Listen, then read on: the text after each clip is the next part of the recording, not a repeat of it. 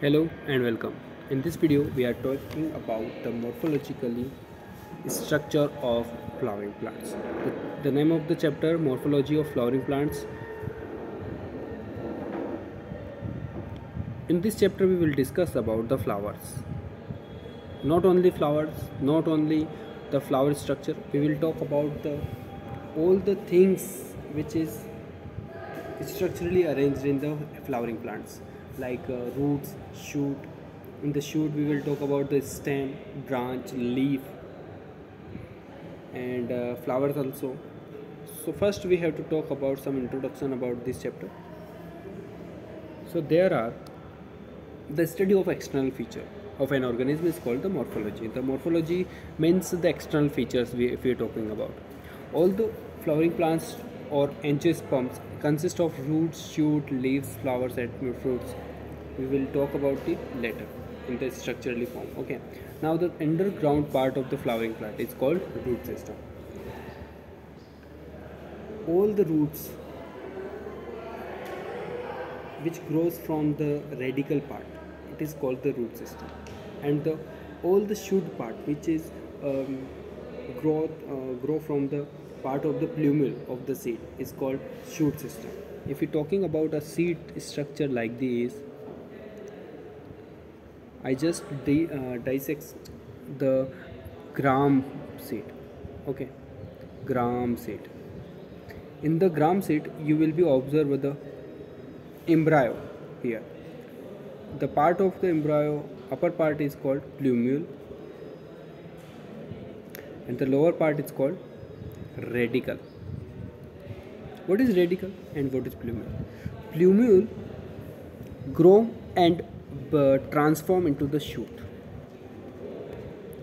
Plumule transform into the shoot system. Okay, the shoot system is dependent on the plumule.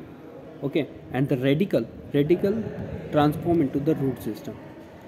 It means root system is directly dependent on the radicle to grow okay? The radicle takes some nutrition plumule takes some nutrition and grow and grow and then grow. And some time after some days after the seed becomes a plant. Like this. Okay. So let's talk about root system one by one okay the topic is root. First of all we are talking about the root. What is root? Okay so there are two kind of classification are there in the chapter. First one is the root is a radicle part of the seed. Okay the root develops like this the main axis. First root develop from the radicle and then second and then third second third second and third. Then the first main root system is called primary root. And then this is the second root this is the second root this is the second. So this second root is called secondary root okay? And then the secondary root grows the third kind of root it is called the tertiary so this is the first type of classification. First type of classification according to the form of uh, they arrange the first uh, the root the first root developed from the radicle it is called primary and then second they are called secondary and then the last third is called tertiary.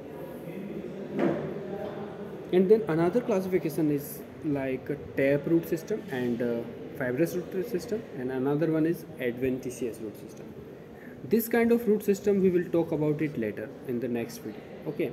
In this video that's all about it. Okay